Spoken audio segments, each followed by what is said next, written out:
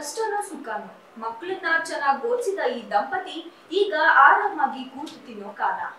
ಆದ್ರೆ ಇವರು ಮಾತ್ರ ತಮ್ಮ ಸ್ವಂತ ದುಡಿಮೆಯಲ್ಲಿ ನಂಬಿದ್ದಾರೆ. ತಮ್ಮ ಜಮೀನಲ್ಲಿ ಸಾವಯವ ಕೃಷಿ ಮಾಡ್ತಾ ಊರಿಗೆ ಮಾದರಿಯಾಗಿದ್ದಾರೆ.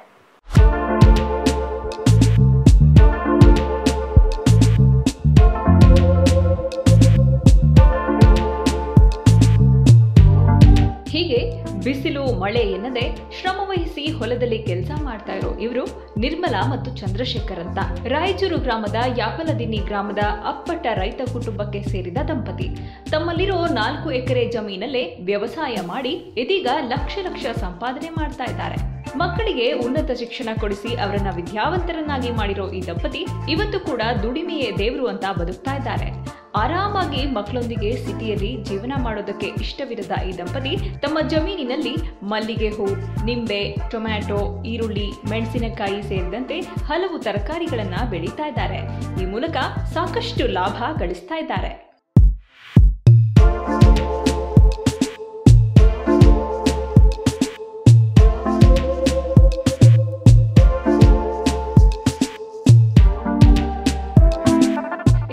ದಿನಕ್ಕೆ ಮೂರ್ನಾಲ್ಕು ಕೆಜಿಯಷ್ಟು ಮಲ್ಲಿಗೆ ಹೂಗಳನ್ನ ಮಾರಾಟ ಮಾಡ್ತಾ ಇದ್ದಾರೆ ಈ ದಂಪತಿ. ಸಮಗ್ರ ಕೃಷಿ ಪದ್ಧತಿ ಮೂಲಕ ತಮ್ಮ ಜಮೀನಲ್ಲಿ ಹೀಗೆ ಹಣ್ಣು, ತರಕಾರಿ ಹೂಗಳನ್ನ ಬೆಳೀತಾ ಇರೋ ಇವರು ವರ್ಷಕ್ಕೆ ಲಕ್ಷಾಂತರ ರೂಪಾಯಿ ಆದಾಯ ಗಳಿಸ್ತಾ ಇದ್ದಾರೆ. ಹೀಗೆ ತಾವು ಬೆಳೀತಾ ಇರೋ ಯಾವುದೇ ಬೆಳೆಗೂ ರಾಸಾಯನಿಕ ಬಳಸದೆ ಸಾವಯವ ಕೃಷಿ ಪದ್ಧತಿ ಅನುಸರಿಸ್ತಾ ಇರೋದು ಮತ್ತೊಂದು ವಿಶೇಷ.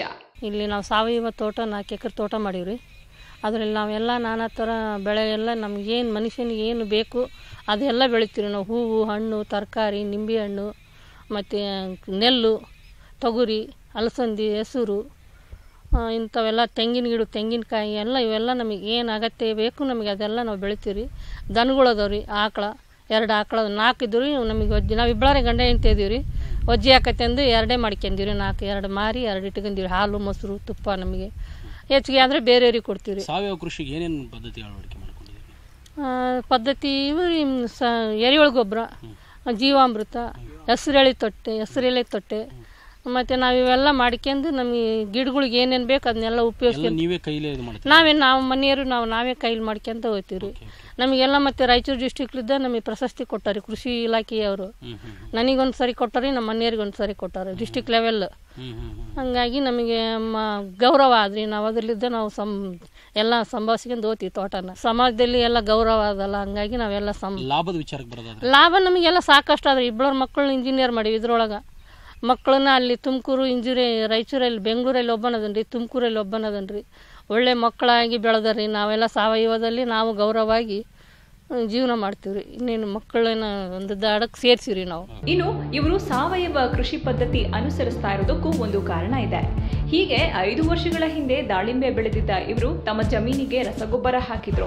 ಆದ್ರೆ ಅಂದಿನಿಂದ ತಮ್ಮ ಜಮೀನು ಸಂಪೂರ್ಣವಾಗಿ ನಾಶವಾಯಿತು. ಹೀಗಾಗಿ ಸಾವಯವ ಪದ್ಧತಿ ಮೊರೆ ಹೋದ ನಿರ್ಮಲಾ ದಂಪತಿ ಗೊಬ್ಬರ ತಯಾರಿಕೆಗಾಗಿಯೇ ಎರಡು ಹಸುಗಳನ್ನ ಸಾಕ್ತಾ ಇದ್ದಾರೆ. ಅಲ್ಲದೆ ಹಸಿರೆಲೆಗಳು ಹಾಗೂ ಎರೆಹುಳು ಗೊಬ್ಬರವನ್ನು ತಯಾರಿಸ್ತಾ ಇದ್ದಾರೆ. ಇಷ್ಟೇ ಅಲ್ಲ, ಈ ದಂಪತಿ ತಮ್ಮ ಜಮೀನಿಗೆ ಹನಿ ನೀರಾವರಿ ಪದ್ಧತಿಯನ್ನು ಅಳವಡಿಸಿಕೊಂಡಿದ್ದಾರೆ. ಸಮಗ್ರ ಕೃಷಿ ಅಂದರೆ ಸುಮ್ಮ ಒಂದು ಬೆಳೆ ಲಾಸ್ ಆದರೂ ಕೂಡ ಇನ್ನೊಂದು ಬೆಳೆ ನಮಗೆ ಪ್ರಯೋಜನ ಪಡ್ತದೆ. ಇವಾಗ ಅದಕ್ಕೆ ಅದರಿಂದ ನಾನು ಸಾವಯವ ಕೃಷಿ ಮತ್ತು ಸಮಗ್ರ ಕೃಷಿ ಅಳವಡಿಸ್ಕೊಂಡಿದ್ದೀನಿ. ಯಾಕಂದರೆ ನಾನು ಜಾಸ್ತಿ ಗೊಬ್ಬರ ಹಾಕಿದ್ರಿಂದ ಲಾಭನೂ ಕಡಿಮೆ ಲಾಭ ಬರ್ಬೋದು. ಆದರೆ ಖರ್ಚು ಜಾಸ್ತಿ ಆಗುತ್ತೆ. ಖರ್ಚು ಮಾಡಲ್ಲ. ನಂದು ಶೂನ್ಯ ಬಂಡವಾಳ. ಶೂನ್ಯ ಬಂಡವಾಳ ಅಂದರೆ ಏನೂ ಇಲ್ಲ. ನನ್ನ ಮನೆ ಕೆಲಸ.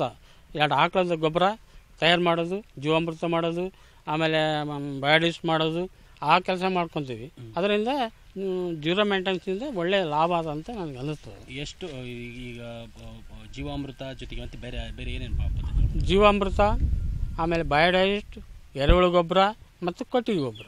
ಓಕೆ. ಹ್ಞೂ ಏನೇನು ಬೆಳೀತೀವಿ ನಾವು ತರಕಾರಿ ಬೆಳೆದೀವಿ. ನಿಂಬು ಇದೆ ಹೂವಿನ ತೋಟ ಇದೆ ನುಗ್ಗಿ ಇದೆ ಹೆಸರು ಆಮೇಲೆ ಮಾವು ಎಲ್ಲ ತರಕಾರಿಗಳು ಎಲ್ಲ ತರಕಾರಿಗಳು ಇದಾವೆ. ಆಮೇಲೆ ಮೇಲೆ ನಮ್ಮ ದನಗಳಿಗೆ ಮೇವು. ಇಂಪಾರ್ಟೆಂಟ್ ಮೇವು ಕೂಡ ನಮಗೆ ಏರಿಯಾದಲ್ಲಿ ಮೇವು ಒಳ್ಳೆ ಒಳ್ಳೆ ಮೇವು ಸಿಗಲ್ಲ. ಅದಕ್ಕಾಗಿ ನಾವು ಕೃಷಿ ವಿಶ್ವವಿದ್ಯಾಲಯದಿಂದ ಒಂದು ಮೇವು ತಂದು ಕೊಟ್ಟರು ನಮ್ಮ ಮಾಸ್ಟರ್ ತೊಗೊಂಬಂದಿದ್ರು. ಆ ಮಾಸ್ಟ್ರಿಂದ ನಾನು ತಂದು ಹಾಕಿನಿ ಈಗ ನೋಡ್ರಿ ಚೆನ್ನಾಗಿ ಬಂದದ. ಆ ಮೇವಿನ ಬೆಳೆ ಕೂಡ ಅದ.